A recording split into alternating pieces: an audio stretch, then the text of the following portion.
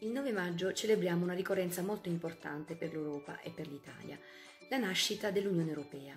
Quest'anno in particolare abbiamo ricordato i suoi 70 anni. Infatti il 9 maggio del 1950, in seguito alla famosa dichiarazione di Robert Schuman, l'allora ministro degli esteri francese, nascerà la CECA, cioè Comunità Europea del Carbone e dell'Acciaio. Celebre la sua frase la pace mondiale non potrà essere salvaguardata se non con sforzi creativi, proporzionali ai pericoli che la minacciano. E ben lo sapeva l'Europa appena uscita dal secondo conflitto mondiale.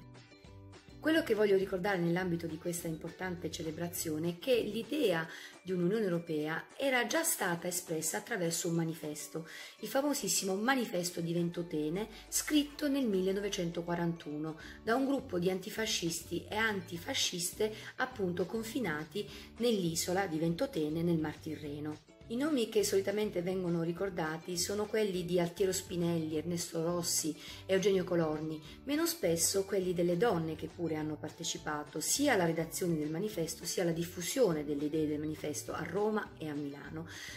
E penso ad Ada Rossi e poi a Ursula Hirschman. E ora vi parlo di lei. Ursula Hirschman nasce a Berlino nel 1913 da una agiata famiglia ebraica. Agli studi eh, di economia seguì subito una passione politica molto forte, tant'è vero che Ursula farà parte del Partito Socialdemocratico di Germania ed è per questo che poi sarà costretta a fuggire in Francia. Proprio qui conoscerà quello che sarebbe diventato il suo futuro marito, e cioè Eugenio Colorni. Succede però che Eugenio viene confinato nell'isola di Ventotene e lei lo seguirà. Lì inizieranno a redigere il manifesto, nel mentre il matrimonio subirà un periodo di crisi. Difatti, comunque, avendo meno restrizioni eh, degli altri confinati sull'isola di Ventotene, lei avrà la possibilità di diffondere, quindi di uscire dall'isola e diffondere tutte le idee del manifesto.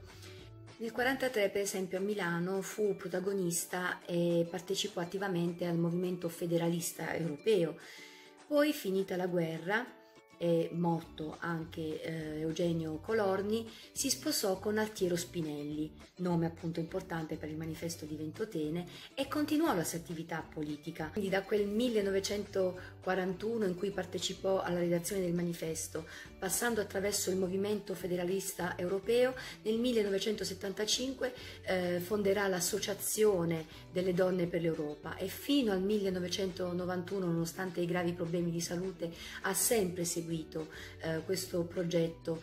Quindi Ursula, che non si sentiva né pienamente tedesca né pienamente italiana, è stata una donna fondamentale per il movimento europeista e soprattutto per la presenza delle donne in politica, perché appunto lei riteneva che era necessaria una maggiore partecipazione delle donne proprio nella costruzione del progetto europeo. Affermava infatti la battaglia per l'unificazione politica dell'Europa può essere una tappa importante ed esemplare per le donne. Mi piace quindi concludere con una frase sua che è questa. Noi possiamo soltanto amare, non per bontà, non per senso religioso, ma perché è l'unico nostro modo di restare nella realtà.